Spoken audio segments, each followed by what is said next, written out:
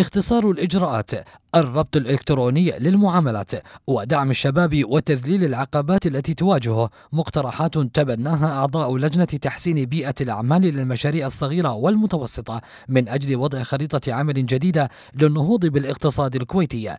اللجنة التي حظيت بدعم الأغلبية البرلمانية داخل قاعة عبد الله السالم بالرغم من الجدل الواسع والصعوبات التي واجهت اللجنة باتت أمام استحقاقات كبيرة خاصة أمام النواب الذين منحوا الدعم المطلوب لإقرارها وكذلك أمام الشعب الذي يعول كثيرا على أن ينصب الجهد البرلماني عبر هذه اللجنة لتحقيق تطلعاتهم.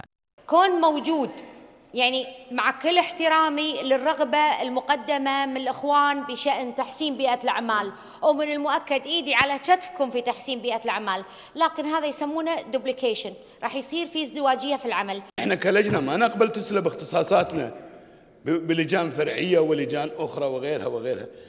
الأخ الرئيس الموضوع عندنا وحنا قادرين إن إحنا نتصدى له ويقدرون يشاركونا هم أي آراء عندهم معانا باللجنة. وتهدف اللجنة الوليدة التي وافق عليها المجلس خلال جلسة السابع والعشرين من ديسمبر الماضي بناء على طلب نيابي تبناه النائب يوسف الفضالة إلى تذليل العقبات التي تعترض المشاريع الصغيرة والمتوسطة وخلق طفرة تشريعية تواكب النهضة المنشودة من أجل الارتقاء بالمشاريع الصغيرة والمتوسطة التي تخدم فئات عديدة من المجتمع وتخلق مصدر دخل جديد للكويت. هناك أمور قاعد تاخذ فترة على ما قاعد تحل فتشكيل هذه اللجنة أنا أعتقد هي ضرورة لابد منها. الحين صوتوا على الظواهر السلبية. ترى هذا الموضوع كله شباب وهذا أهم من الظواهر السلبية.